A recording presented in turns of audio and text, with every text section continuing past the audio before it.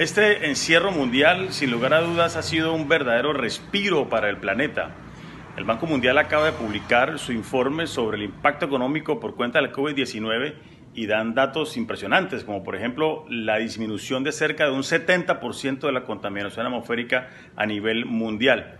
Hemos visto imágenes también a nivel local, a nivel mundial, de cómo los animales han llegado a tomarse lugares en donde jamás se habían visto, en plazas públicas, en vías, animales que vivían en la montaña bajan a la playa. Aquí en Barranca Bermeja también los hemos visto. Entonces son ejemplos de cómo esa tranquilidad nos ha traído inclusive nuevos sonidos que antes no habíamos escuchado. Hoy mm, hemos dado cuenta que el petróleo está sobrando a nivel mundial, pero está faltando la comida. Esto parece ser un grito desesperado del planeta para que prestemos atención acerca de lo que es verdaderamente importante.